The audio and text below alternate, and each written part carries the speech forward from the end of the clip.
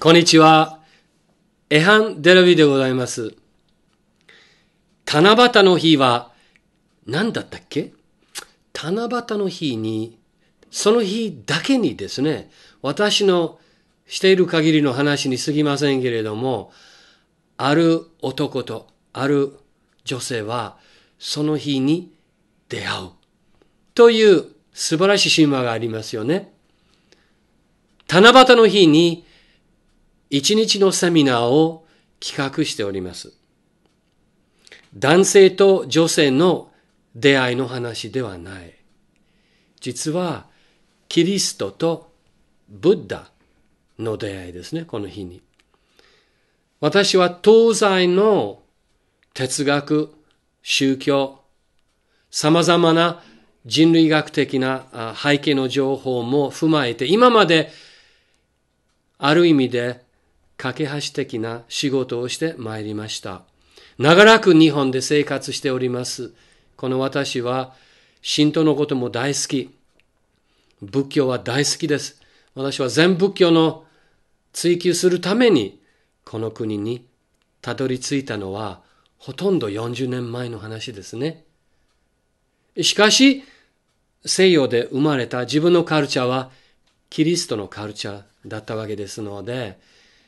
キリストのこととブッダのことをもう一回ちょっと深く考えようじゃないかと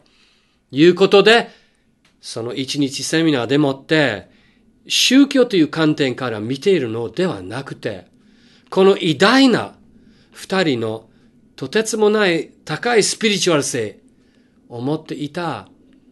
ブッダとキリストのメッセージは現代人の我々にとっては何を言わんとしているのでしょうかということで、皆さんとシェアをしたいと思います。私自身はキリストのことで奇跡のコースのメッセージを幅広く今日本で、えー、お伝えしようと思いながら、もともとこの日本のカルチャーの背景にある、この背後にある、ブディズムのメッセージはどうなんでしょう？今は。お寺へ行ってお祈りをすることもとても大事だと思うんですが、忙しい毎日の生活の中で、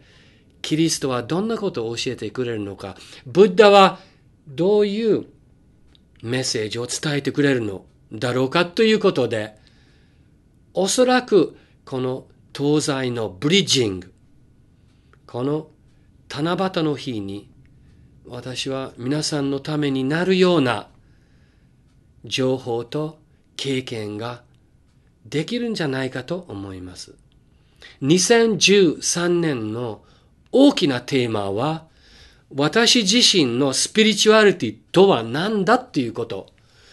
やはり深く自問しなければならない時が来たじゃないですか。